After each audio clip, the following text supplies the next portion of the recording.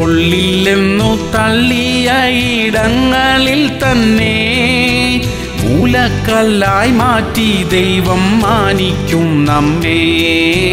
യേശു നല്ലവൻ.